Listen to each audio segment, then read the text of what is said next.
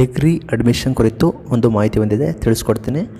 ಚಾನಲ್ಗೆ subscribe subscribe ಆಗಿ video ಇಷ್ಟ ಆದರೆ ಲೈಕ್ನ ಮಾಡಿ. ಇಂದಿನಿಂದ ನಿಮಗೆ ಪದವಿ ಕಾಲೇಜುಗಳು, ಡಿಗ್ರಿ ಕಾಲೇಜುಗಳು ಪ್ರವೇಶಕ್ಕೆ ಆರಂಭ ಆಗಿದೆ. ಏಕರೂಪ ಪ್ರವೇಶ ಆರಂಭ ಆಗಿದೆ. ವಿದ್ಯಾರ್ಥಿಗಳು ಆನ್ಲೈನ್ ಮೂಲಕ ಅಡ್ಮಿಷನ್ಗೆ ಅವಕಾಶ ಕಲ್ಪಿಸಲಾಗಿದೆ. ಇದೇ ಮೊದಲನೇ ಬಾರಿ ಆನ್ಲೈನ್ ಮೂಲಕ ಅಡ್ಮಿಷನ್ ಆಗಲು ಅವಕಾಶವನ್ನು ಕರ್ನಾಟಕ ರಾಜ್ಯ ಸರ್ಕಾರ ಘೋಷಣೆ ಮಾಡಿದೆ.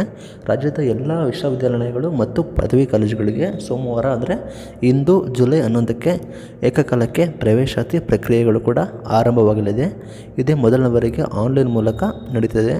ದ್ವಿತೀಯ ಪಿ ಫಲಿತಾಂಶ ಪ್ರಕಟವಾದ ಜೂನ್ ಹದಿನೆಂಟರ ಮರುದಿನಗಳಿಂದಲೇ ಭಾಳಷ್ಟು ವಿವಿಗಳು ಮತ್ತು ಕಾಲೇಜುಗಳು ಪ್ರವೇಶ ಪ್ರಕ್ರಿಯೆ ಆರಂಭಿಸಿದವು. ಆದರೆ ಸರ್ಕಾರ ಇದೇ ಮೊದಲನೇವರೆಗೆ ಬಾರಿಗೆ ರಾಜ್ಯದ ಎಲ್ಲ ಪದವಿ, ಸ್ನಾತಕೋತ್ತರ ಪದವಿ ಕೋರ್ಸ್ಗಳ ಪ್ರವೇಶಕ್ಕೆ ಏಕರೂಪ ಶಿಕ್ಷಣಿಕ ವೇಳಾಪಟ್ಟಿಯನ್ನು, ಏಕರೂಪ ವೇಳಾಪಟ್ಟಿಯನ್ನು ಪ್ರಕಟ ಮಾಡಿದೆ.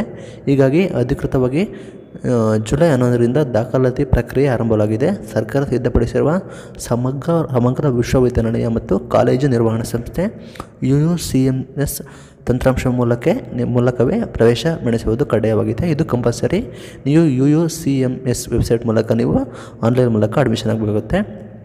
ರಾಜ್ಯದಲ್ಲಿ ಉನ್ನ- ಉನ್ನತ ಶಿಕ್ಷಣ ವ್ಯವಸ್ಥೆಯಲ್ಲಿ ಈಗಾಗಲೇ ರಾಷ್ಟ್ರೀಯ ಶಿಕ್ಷಣ ನೀತಿ ಜಾರಿ ಆಗಿರೋದ್ರಿಂದ ಪದವಿ ಕೋರ್ಸ್ಗಳ ಪ್ರವೇಶದ ವೇಳೆ ವಿದ್ಯಾರ್ಥಿಗಳಿಗೆ ಸಾಕಷ್ಟು ಬಹು ಶಿಸ್ತಿಯ ಕೋರ್ಸ್ಗಳು ಕೂಡ ಆಯ್ಕೆಗೆ ಅವಕಾಶ ದೊರೆಯಲಿದೆ ಅಂತೇಳಿ ಇಲ್ಲಿ ಅಡ್ಮಿಷನ್ ಕೊಟ್ಟಿದ್ದಾರೆ. ಆದಷ್ಟು ಬೇಗ ಆನ್ಲೈನ್ ಮೂಲಕ ಅಡ್ಮಿಷನ್ ಆಗಿ ಜೊತೆಗೆ ನಿಮಗೆ ಪದವಿಯಲ್ಲಿ ಯಾವುದೇ ವರ್ಷದಲ್ಲಿ ಕೋರ್ಸ್ಗಳನ್ನು ಮೊಟಕುಗೊಳಿಸಿದರೆ ಅದಕ್ಕೂ ಪ್ರಮಾಣ ಪತ್ರ ಸಿಗ್ತದೆ.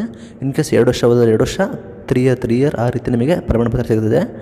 ನಂತರ ಬಳಿಕ ಯಾವುದೇ ಬೇಕಾದರೂ ಸೆಮಿಸ್ಟರ್ಗಳು ಮತ್ತೆ ಓದಲು ಪುನರಾರಂಭ ಮಾಡಬೇಕಾಗುತ್ತೆ. ಏಕರೂಪ ವೇಳಾಪಟ್ಟಿ ಪ್ರಕಾರ ಆಗಸ್ಟ್ ಹದಿನೈದಕ್ಕೆ ಮೊದಲ ಸೆಮಿಸ್ಟರ್ ಎಲ್ಲ ಪ್ರವೇಶ ಬಂದ್ಬಿಟ್ಟು ಕ್ಲೋಸ್ ಆಗುತ್ತೆ. ಆಗಸ್ಟ್ ಹದಿನೇಳರಿಂದ ಡಿಗ್ರಿ ಫಸ್ಟ್ ಇಯರ್ ಕ್ಲಾಸಸ್ಗಳು ಕೂಡ ಪ್ರಾರಂಭ ಆಗಲಿದೆ. ಇದು ಇವತ್ತಿನ ವಿಡಿಯೋ.